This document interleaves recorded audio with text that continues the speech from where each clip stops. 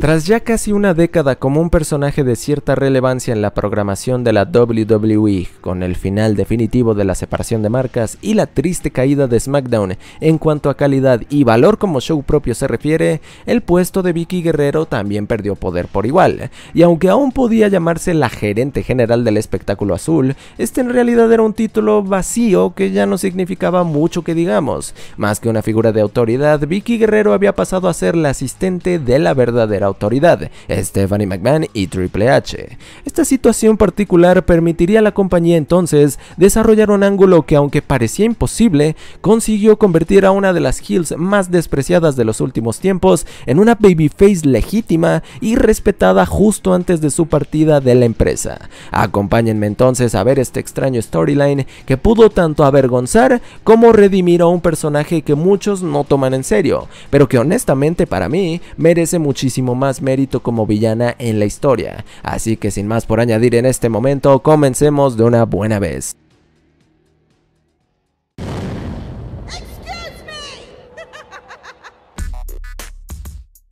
Nos encontramos en el Monday Night Raw del 16 de junio del año 2014. Una desesperada Vicky Guerrero corre tras bambalinas realizando la tarea encomendada por sus jefes, la autoridad Stephanie y Triple H, llevarles café, pero entonces se encuentra con Roman Reigns, que le agradece porque sabe bien que fue ella quien sugirió colocarlo en una batalla real por encima de la tercera cuerda para participar en la lucha de escaleras multitudinaria por el Campeonato Mundial Peso Pesado de WWE en el pay-per-view Money in the Bank. Uf, eso fue muy largo. Vicky responde que la autoridad en realidad no lo quiere en ese combate, pero entonces él dice que cuánto tiempo más va a pasar ella soportando los abusos de la pareja en el poder. Si por ellos fuera, la tendrían trayendo café el resto de su carrera, y esos no son modos de tratar a una mujer hermosa. Además, ella es una guerrero y debe estar a la altura de ese apellido. El perro mayor le recuerda a Vicky que los jefes querrán algo de azúcar en su café y, y bueno, se le olvidó. Ella va a buscarla y le encarga los envases de café a Roman Reigns, que claramente los compromete con una sustancia que no alcanzamos a ver en pantalla. Vicky regresa y estornuda también en el café, pero se lo toma bastante tranquila, no hay problema, ni modo, accidentes que pasan, ¿no es así? Roman Reigns, para terminar, le dice que piense bien cuando le va a lanzar su trabajo de porquería a la autoridad en la cara. Vicky le da su café a Stephanie, pero en un descuido Triple H no recibe el suyo y lo tira encima de la pobre doña Vicky. Para empeorarlo todo, el jefe de operaciones culpa de este incidente a Guerrero y asegura que todo fue causado por su torpeza. Entonces le pide que traiga otro café. Stephanie por su parte está teniendo una estupenda noche, se ríe, se burla de lo sucedido a Vicky y le dice a su esposo que el café está bastante rico, yummy. Más adelante, Renee Young entrevista a la heredera McMahon que sigue disfrutando de su cafecito, pero antes de que pueda hablar sobre la lucha por el WWE World Heavyweight Championship, sus expresiones cambian y se le puede ver incómoda, como si un malestar repentino comenzara a quejarla, y sale del cuadro con rapidez y sin explicación alguna.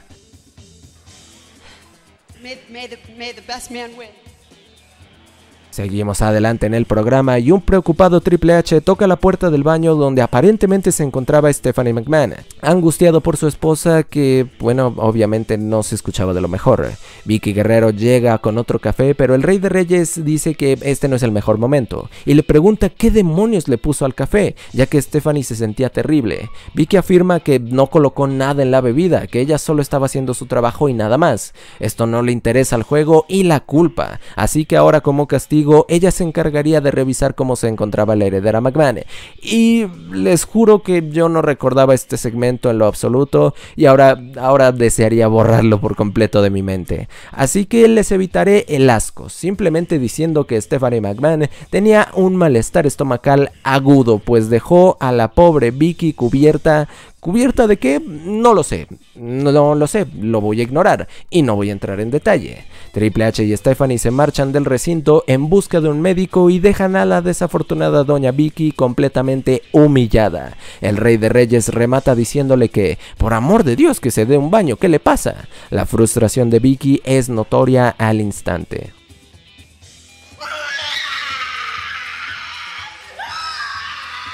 Roman Reigns fue a buscar a Vicky Guerrero más adelante a su oficina y obvio no la encontró del mejor humor. Ella simplemente le preguntó que qué rayos quería y el perrazo dijo que lo más probable es que la próxima semana fuera despedida, así que tenía la oportunidad de hacer un último acto noble para el universo WWE. Ese acto noble era colocarlo en la mencionada Battle Royal. Harta de todo, cansada, Vicky le grita a Roman Reigns que sí, está dentro y le azota la puerta en la cara. Ahora que lo pienso, ese movimiento es medio de Hill Roman, ¿por qué manipularías así a Doña Vicky?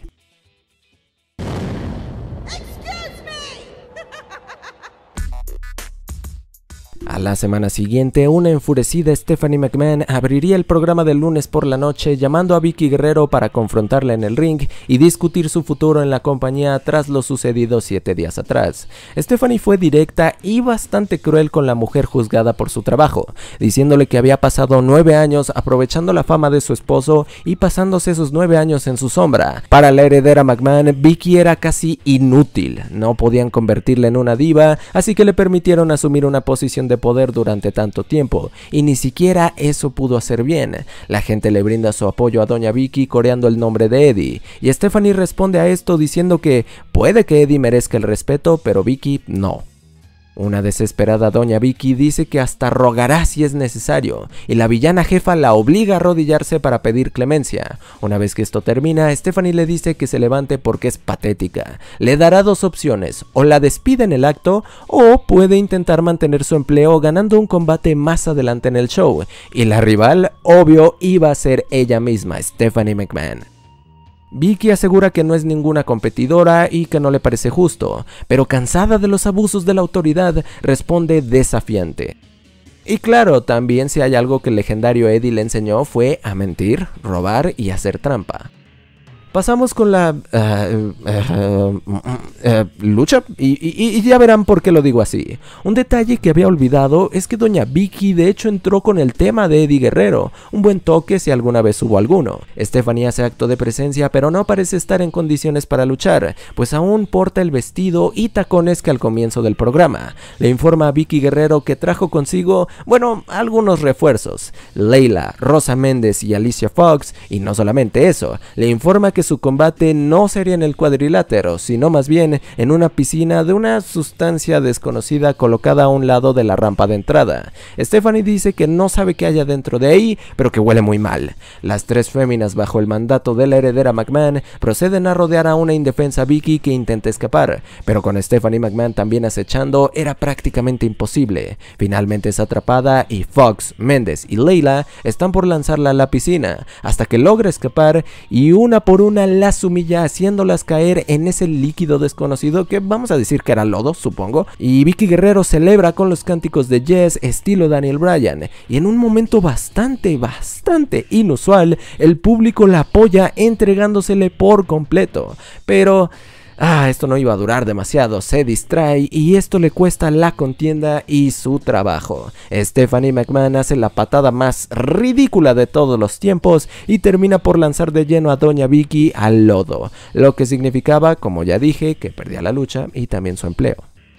La malévola Stephanie celebra como nunca y disfruta cada momento de esto, incluso cantando el clásico na na na na, na na na na, hey hey hey, goodbye, ya saben, y se gana aún más el desdén de la fanaticada presente. Pero no tan rápido Stephanie, porque esa arrogancia saldría cara para la princesa millonaria. Sin nada más que perder, una Vicky Guerrero decidida se despide del universo WWE lanzando de cara a Stephanie McMahon a la piscina de lodo avergonzándola por completo. Haciendo el clásico ademán del mítico latino hit, Vicky decía hasta pronto a esta organización, ya que había pedido la liberación de su contrato tiempo atrás y este ángulo fue diseñado precisamente para permitirle irse de una buena vez.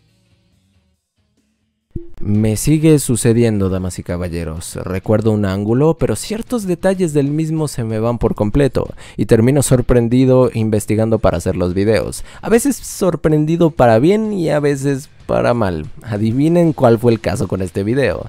Sí, no fue la más grata sorpresa descubrir las cochinadotas que Doña Vicky tuvo que atravesar en sus momentos finales en la WWE. Muy típico de la empresa, obviamente, pero igual espantosamente inesperado, digno de la pena ajena y no sé a quién le dio más vergüenza, si a los involucrados o a los que lo vimos. Creo que a los que lo vimos. Dejando la negatividad de un lado, porque saben que por más mal que todo luzca, me gusta ver el vaso medio lleno, ya lo he dicho. Y como dije al inicio del video, WWE fue capaz de cambiar a Face a una buena heel en Doña Vicky. Porque sí, hay gente que no le da el crédito merecido como personaje. El cambio a Face fue creíble y la audiencia estaba lista para el mismo, apoyándola en sus últimos instantes en la compañía.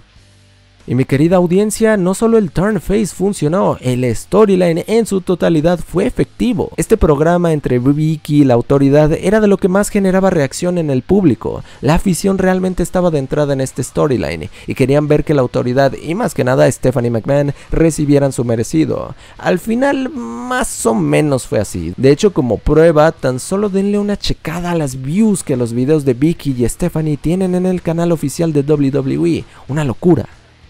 Si ustedes recordaban esta despedida para Doña Vicky, háganmelo saber en los comentarios y díganme también si les pareció terrible, penoso o bastante útil para darle un final a Vicky Guerrero. Voy a estarlos leyendo como siempre. Si pasaron un buen rato con este video, no duden en dejar su like y compartirlo. Suscríbanse para más contenido y activen las notificaciones para no perderse nada de nuevo material. En la descripción van a encontrar los links de mis redes sociales y del podcast en el que participo por si desean darles una checada. Les ha hablado Mr. W y nos vemos, nos vemos en la próxima.